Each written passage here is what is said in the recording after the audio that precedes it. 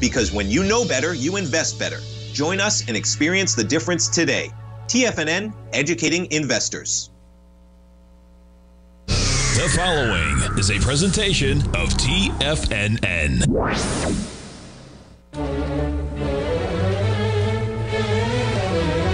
Trade what you see with Larry Pesavento.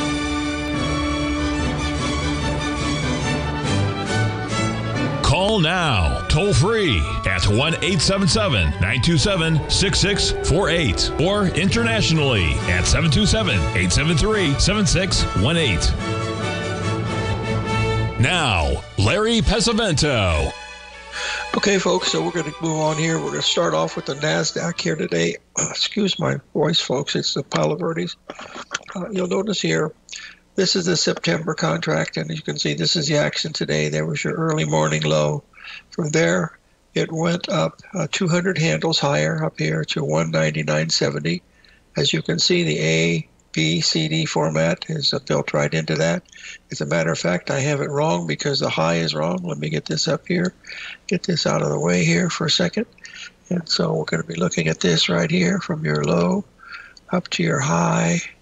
And that measures up to this level right here, which was 19,965.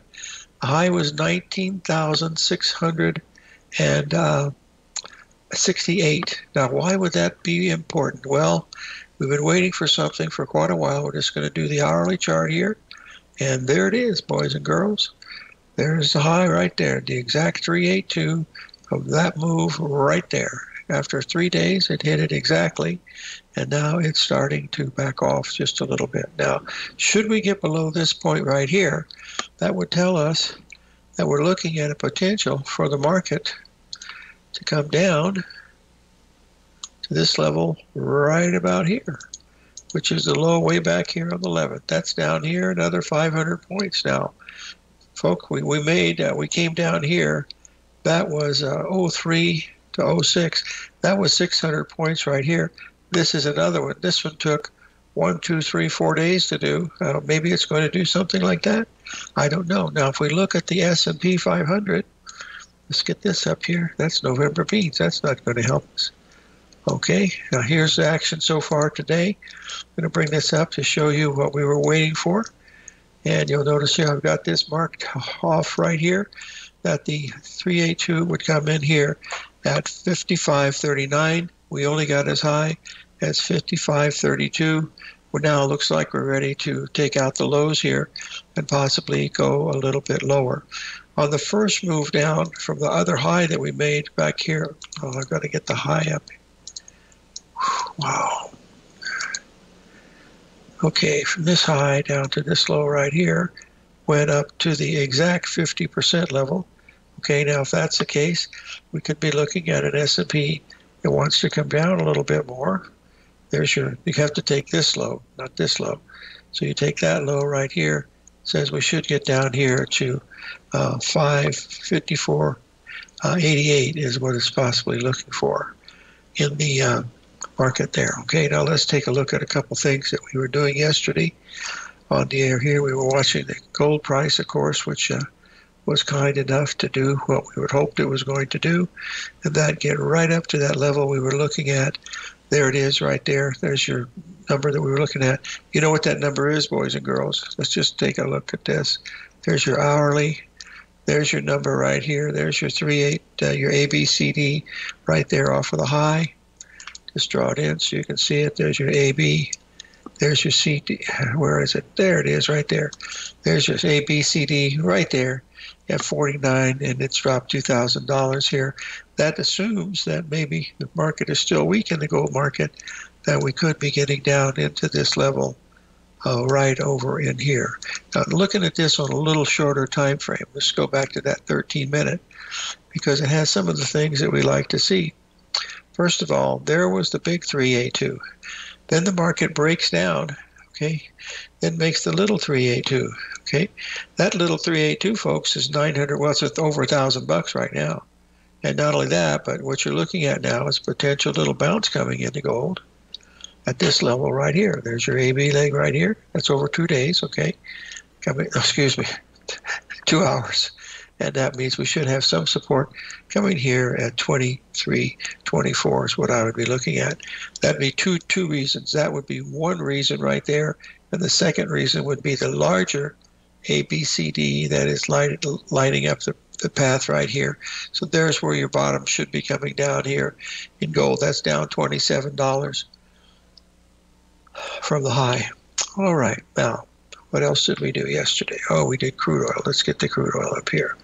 Always interesting, as you see. Always interesting and never in doubt. You remember this was the number we were looking at in the crude oil, which was uh, 2183. I was 2185. It came down and it made its first low right here when I set out this morning when we were still up at this level right about here. I said, look for a bounce coming here, and we did. It went back up again, but look how it did it, folks. This is why you don't have to read tape. All you have to do is just look at some of these little patterns here. And there it is right there. What do they call that pattern? Johnny's got his placard card up, folks, and it says AB equals CD. Folks, I do not like, uh, um, what do you call it, hockey. Uh, but I watched the game last night in honor of my good friend Mark Douglas, who loves hockey. I went to three hockey games in my life. Uh, two of them with the the the, uh, uh, the Olympic guys from 1980, uh, Jack Hughes and Jack O'Callahan, and uh, oh my God, what's Tim's last name? I can't remember. Anyway, there's the ABCD, folks, and Mark used to say AB equals CD. Well, that one had almost a thousand dollars in it, so and it's still this is still a valid pattern. Now, what we've had happening here right now is a little bit of bullishness. As you can see here, we have three higher bottoms over today. Now, this is just remember, this is only three hours of trading. But if you're trading for three, you know, on an eight-minute chart or a four-minute chart, that's like trading a weekly chart. See, it's not about how much money you make. It, oh no. Oh no! I don't tell me I'm.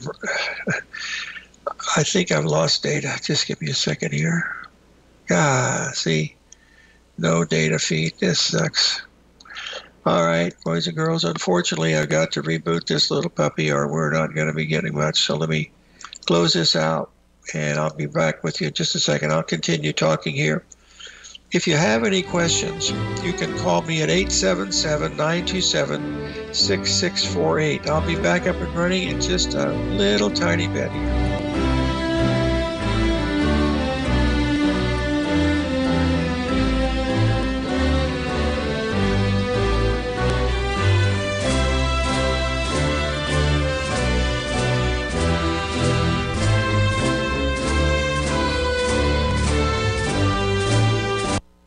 Steve Rhodes started his trading career as a student almost 20 years ago, and the student has now become the master. Steve won the prestigious Timer of the Year award in 2018 and barely missed that mark again in 2019, finishing at number two for the year. An amazing accomplishment. Steve Rhodes is committed to sharing his techniques and knowledge with anyone who wants to learn, and he shares his vast amount of trading knowledge every day in his Mastering Probability newsletter. Steve's award winning newsletter, Mastering Probability, is delivered every trading day with updates throughout the afternoon. Sign up for Steve's market newsletter, Mastering Probability, and you'll receive access to seven of Steve's educational webinars absolutely free. At TFNN, all our newsletters newsletters come with a 30 day money back guarantee, so you have absolutely nothing to worry about. Visit TFNN.com and try Mastering Probability 30 days risk free today. TFNN, educating investors.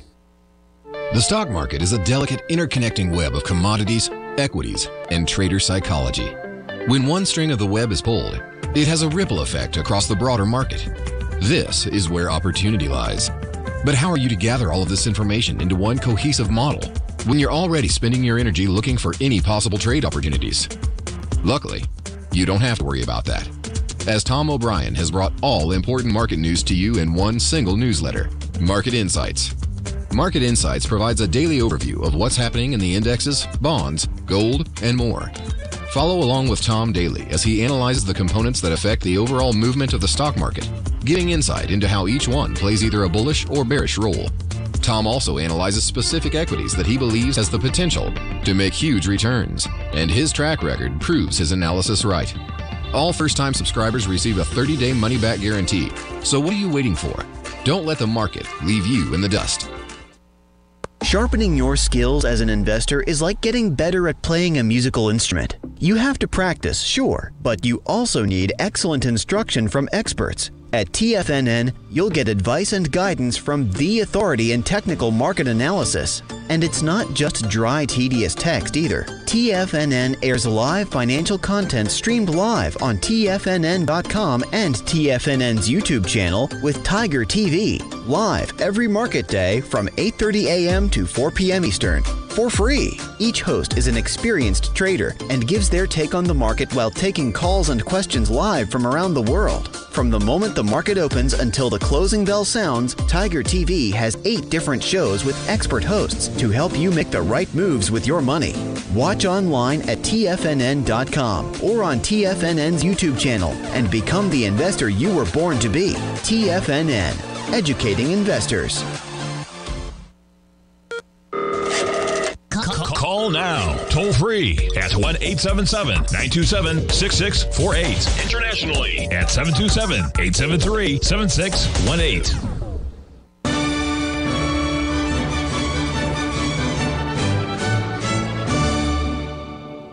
We were watching here the. Uh, unfortunately, I my, I didn't realize this was a half hour before the show, and I wasn't getting data on crude oil. It stopped right here. This was the one three five pattern. Of course, you see that it failed. So now it's dropped, you know, quite a bit. There's your ABCD pattern right here. Now, uh, what you want to be watching for is potential, and I say uh, potential here because just a second. Sorry, folks. Let's go back to the hourly chart here. Remember, I'm just a little ABC merchant. That's all I am. And we're going to take a look at this. There was your, there was your first high this morning. There was your second high, and now we're going to see if that's an ABCD pattern right here. So there's your AB leg right here. Okay, there's your CD leg right there. The low was 8083, and it was supposed to come in at 8079. That was three ticks from where it probably is. So that may or may not be a bottom. The way you'll find out is if a bottom is this. Go to back down to your eight minute chart. And the first thing you'd want to be doing is to see if this is really going to be a good move here, is you want to see what the 382 is going to be on the way back up. And there it is right there at 81.22. Now I realize this is micro, not micro trading, but it's, it's but we stop and think, folks, this is an $81,000 contract. It's not a twenty-five hundred dollar, a twenty thousand dollar contract like corn or soybean oil or something like that, or cattle or hogs. No, this is this is big time money. And then we're doing it in the gold. Same thing is happening. You know, it's all big time stuff. Okay, now let's move on uh, uh, to the next one that we have here. Al, I want to give you a code red here, buddy. There is just no way in heck that I'm going to be able to do the whole hour today. My throat is red hot. I'm drinking ice water. It melts faster than I could possibly imagine. So I'll play a recording or something at the second part of the show, out because I, I'm not going to be able to do it. I, I, if I do, I'm probably going to ruin myself for three days, and I'm not going to do that. It's just not worth it to my health, and it's not uh, not too much uh, of importance for my my appointment right here. Okay, now let's take a look here what this give a little uh, heads up here on the old. Uh, here, there's the. Uh, okay, there is the uh, S&P here this morning. Now we had a breakdown. We did not make new lows on the day, which is still possible. So the 382 rally back would have been right about here where we're trading right now at 1519 and got to put your stop here about 1526 a short-term pattern but these are the four patterns that i lost on I only did 382 retracements the last time we did these on Friday. But this time I'm going to be doing ABCD because that's uh, that's what gets you to the that's what gets you to the promised land. All right, now let's get. Oh, hold on. Do we have a caller coming in? Hold on, just a second here. Uh, Okay, Hal's going to give me heads up. I'm going to make this last five, six minutes here, I think, without too much trouble because this is an incredibly important day. Let me explain to you why I think it's an important day, folks. Here is the Dow Jones. I went through all this stuff on this pattern right here, okay? this pattern this pattern was wrong because I didn't realize it could go higher than that, and it did. It exploded higher, 400 points. First two hours of the opening yesterday stopped right there at 39,565. Okay, now was I off by one day? I don't know, but that's a perfect Gartley in here. And if it is, this is what you're looking at, folks. You're looking at A, B, C, D. That means we're going to take out the February lows at 37,500. And if that's the case, that's going to be a pretty bad move. You notice that the market is coming down very, very sharply in the Dow Jones contract itself and also the futures too. But all we've done now, let's just show you. Here's where we all we've done now is uh, we've come up and we have you see the see the action yesterday? We've taken all that away plus some. Okay? You see everybody that bought this stuff yesterday, boom. Now, here was a signal that I sent out last night. I said, if that's the case, okay, here's Monday, all right? I said, if that's the case, you know, watch for the first 382 today. And of course, this was, there's Tuesday. So Tuesday was already, this is what we were talking about for today, all right? I had already made, it already made this small ABCD here last night. Uh, shucks. Oh, man. There was your AB, CD leg right there, okay? There's your 382 right there, folks. And it's the 382 off of the high. Look at that, right there on the money. That that that's 500 points, folks. Uh, no, 450 points. Now we're bouncing back a little bit here right now. We've rallied uh, 80 points in the Dow, uh, which is a pretty good rally, but uh, I think this one's getting ready to go a whole lot lower. The last rally we had here went from uh, 39.60 to uh, rallied 100 points. So this goes to 34 to 34.90, and there's 100 points right there. So these these are equal rallies right now, there and there. Let's just show the folks what we're watching, and there's where we are. Wow, we okay. There's that rally, and there's that rally. So that's what we're watching here today. if we close badly today in the S&P and also in the Nasdaq, by badly, I mean if we were to close down, in other words, to take a 250 point gain in the NASDAQ and take it all away and close lower, we're going to look at something really serious to the downside, folks, because that means it's trapped a lot of people. And that's not a good sign when that kind of stuff, you know, happens. So I just hope that uh, makes sense to you because that's what I'm looking at as we uh, go through here. Now, I save everybody the time and yes, we will look at Mr. Apple, who's down by the well. Whew, wow.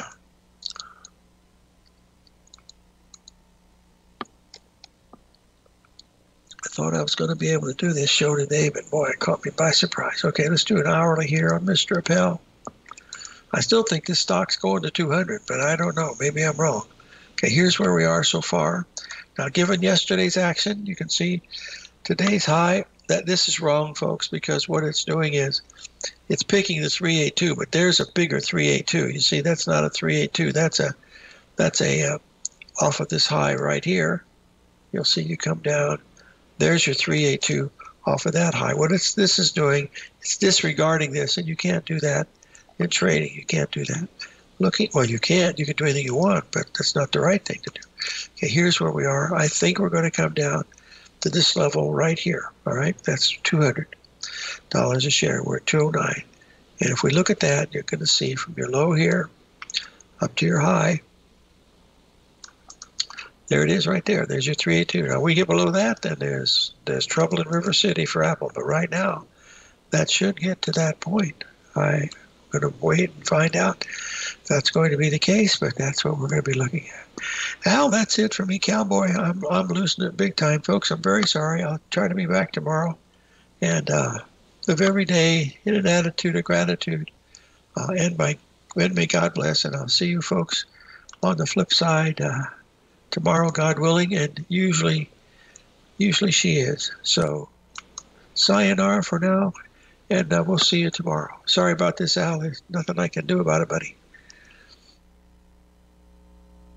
Well, but very often, historically, we would look back and say, oh, if crude is running like that, that could impact the, the market negatively. So all of those things that we used to use as benchmarks.